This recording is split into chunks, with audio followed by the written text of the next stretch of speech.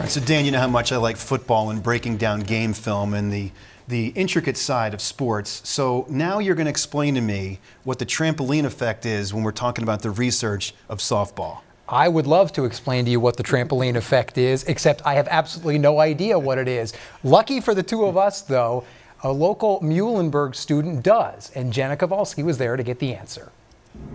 Have you ever wondered if there's an exact equation to hitting the perfect ball?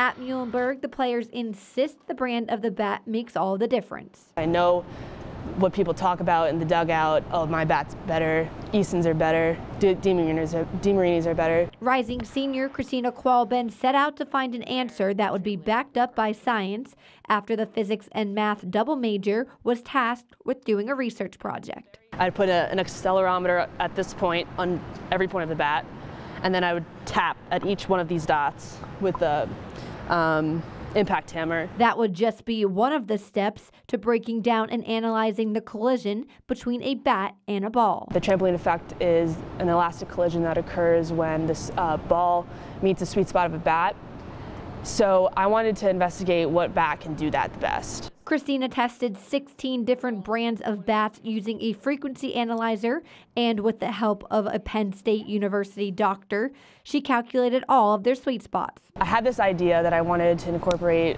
two of my loves, softball and physics. So the wheels were turning, and I came up with this project to think about what kind of bats were the best.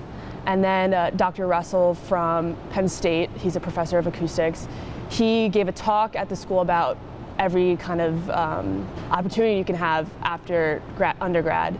And he did a lot of stuff with bats and sports equipment. So I immediately went up to him and asked him, how can I get more involved? With the ongoing debate in the sports world of which is the best bat, every player and team still have their own opinions. I've always loved DeMarini, just the way they feel and the way they sound.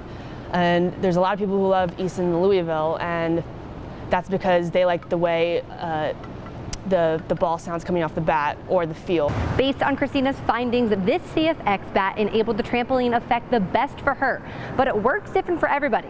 So don't be getting any ideas, Moravian. I've always loved DeMarinis because the way they feel, it just feels natural swinging them for me and I love the sound they make.